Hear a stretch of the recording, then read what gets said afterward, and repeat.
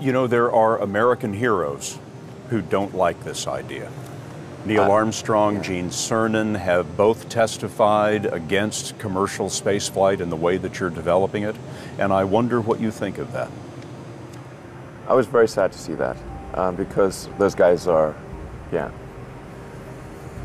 You know, th- those guys are heroes of mine, so it's really tough. You know, I, I wish they would come and visit and, and see the hardware that we're doing here. And, and I think that would change their mind. They inspired you to do this, didn't they? Yes. And to see them casting stones in your direction. It's difficult. Did you expect them to cheer you on? So they're hoping they would. What are you trying to prove to them?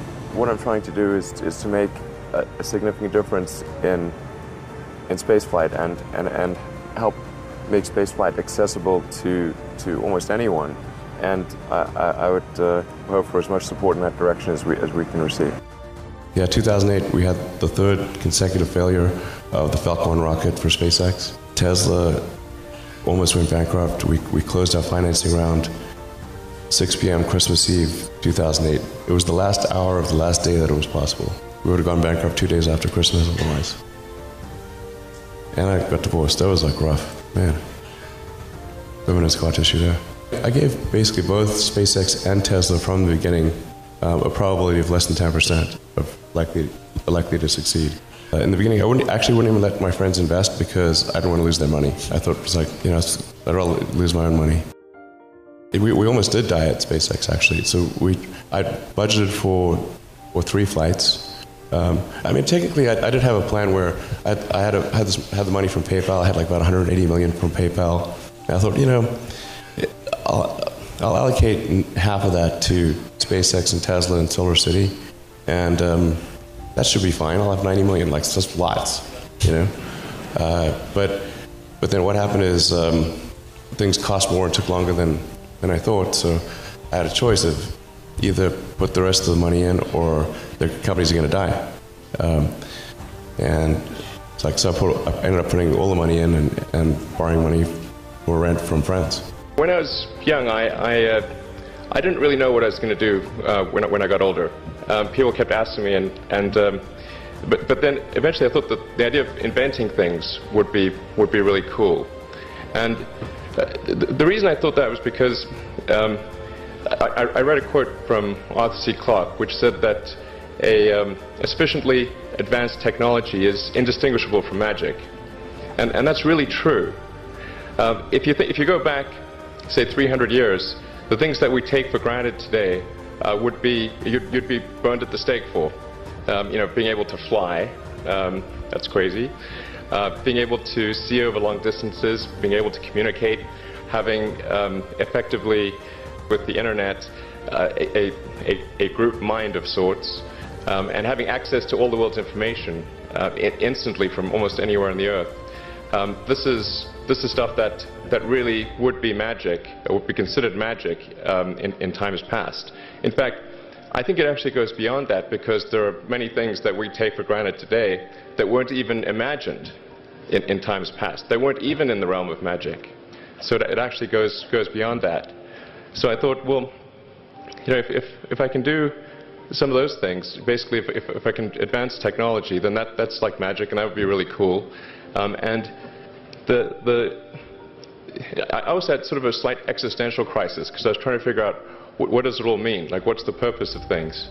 And um, I came to the conclusion that if, if we can advance the, the, the, the, knowledge of the world, if we can do things that expand the scope and, and, and scale of consciousness, then we're better able to ask the right questions and become more enlightened, and, and that's really the only way forward.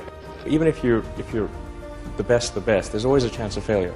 So I think it's important that you really like whatever you're doing. Um, if, if you don't like it, life is too short. If you like what you're doing, you think about it even when you're not working. I mean, you, it'll just, it, it's, it's something that your mind is drawn to. Um, and, and if you don't like it, you, you just really can't make it work, I think. What kind of future do we want? Do we want a future where we are forever confined to one planet until some eventual extinction event, however far in the future that might occur? Um, or do we want to become a multi planet species um, and, and then ultimately be out there among the stars and be among many planets, many star systems? And I think the latter is a far more exciting and inspiring future than the former. Mars is the next uh, natural step. Um, in fact, it's the only planet we really have a shot at, at establishing a self sustaining city on. Once we do establish such a city, there will be a strong forcing function for the improvement of spaceflight technology that will then enable us to uh, establish colonies elsewhere in the solar system and ultimately extend beyond, the, beyond our solar system. What um, gets me more excited is, is the fact that this would be an incredible adventure. Mm. I mean, it'd be like the greatest adventure ever. Mm. Um, and it, it would be exciting and inspiring. And there need to be things that excite and inspire people. Yeah. You have to be, you know, reasons why you get up in the morning. It can't just be solving problems. It's got to be, yeah, something, something great's going to happen in the future. It's really a mindset. You have to decide we're going to try to do things uh, differently. Well, provided that they're better. You shouldn't do things differently just because they're different. They need to be different and better. Um, but I think you just have to sort of decide. Let's let's think beyond the normal stuff and and um, and, and have an environment where that sort of thinking is encouraged and rewarded and where it's okay to fail as well. Because when you try new things, you try this idea, that idea, well, a large number of them are not going to work. And that has to be okay. If, if, if, any, if, every time somebody comes up with an idea that has to be successful, you're not going to get people coming up with ideas. SpaceX is alive by the skin of its teeth, so is Tesla. If, if things had just gone a little bit the other way, it, both companies would be dead. And I, and I, like one of the most difficult choices I have ever faced uh, in life was was in 2008. I think I had uh, like um, maybe 30 million dollars left, or 30 or 40 million dollars left in 2008. I had two choices. I could put it all into one company, and then the other company would definitely die, um, or split it between the two companies. And, but if I split it between two companies, then both might die. Um, and you know, when you put your blood, sweat, and tears into creating something, or building something, it's like a child. Am I going to let one starve to death? I couldn't bring myself to do it, so I put I, I split the money between the two. Fortunately, thank goodness, uh, they both came through. The odds of me coming into the rocket business, not knowing anything about rockets, not having ever built anything, I mean, um, I would have to be insane if I thought the odds were in my favor. Why even begin? Oh, when something is important enough, you do it even though the odds are not in your favor. How much of your personal fortune have you poured into this? Uh, $100 million. $100 million yeah. into something that you did not believe would work at the beginning. Yes. I'm probably not the guy that most people would bet on. Um, Who usually, wins? It's, it's, it's like a, a, little kid fighting a bunch of sumo wrestlers.